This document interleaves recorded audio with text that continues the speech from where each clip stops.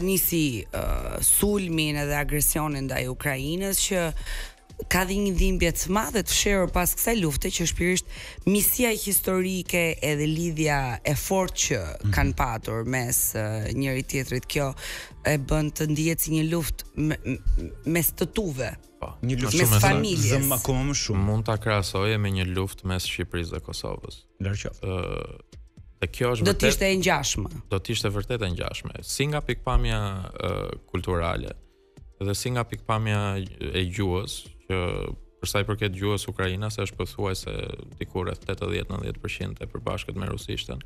Dhe normalisht dhe historia e tyre siç thashë edhe bashkëpunimi e çdo gjë tjetër, por pjesa më e dhimbshme ishte Pjesa më e dhimbshme është për rusët. ë uh, normal që ukrainasit ndihen si të frikësuar dhe të cënuar dhe të lënduar, janë vrarë, kurse rusët janë vërtet konfuzë dhe në dhimbje, sidomos moskovitët. Është bërë një analizë dje, rreth 60% mhm. e moskovitëve janë kundër luftës. 60%. 60%. Më shumë se gjysma.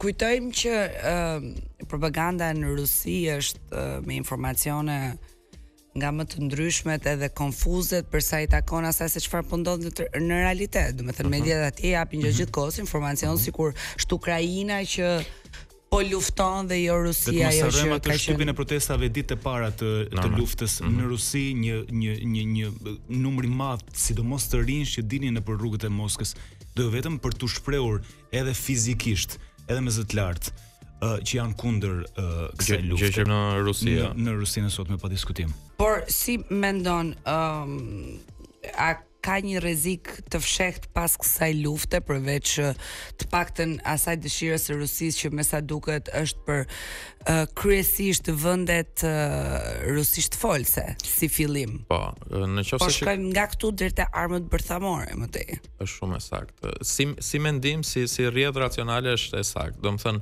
ajo që po bën Rusia është që këtë pikësynim që ka po e bën në një mënyrë domethënë, pikësynimi i saj nuk është aneksimi i vendeve rusishtfolëse ekzaktësisht, mm -hmm. por mhm. po e bën nëpërmjet vendeve rusishtfolëse fillimisht. Domethënë, mm -hmm. po të shikoni hartën e, e pushtimit, le ta quajmë sulmit, mm -hmm. është kryesisht në, në, në jug dhe në lindje dhe në pjesën verilindore, ku flitet kryesisht rusisht. Flasin për një flasin për zona ku siç ju thash më parë janë rritur me përveç përveç gjuhës së tyre, janë rritur me rusisht dhe kanë preferuar rusishten edhe për arsye të zonës ku ndodhen. Mhm. Ëh, mm -hmm. uh, normalisht është është pak a shumë si të konsiderosh atë pjesën jugore të Shqipërisë ku shpesh flasin greqisht. Ëh, uh, dhe e kanë nisur aty për arsye sepse duke e nisur nga aty, Uh, ke dhe më pak uh, qëndresë, ke dhe më pak uh, dyluftim, le të themi, mm -hmm. ke dhe më pak... Uh, është më kollaj për t'u asimiluar. Po, është më kollaj, shumë më kollaj.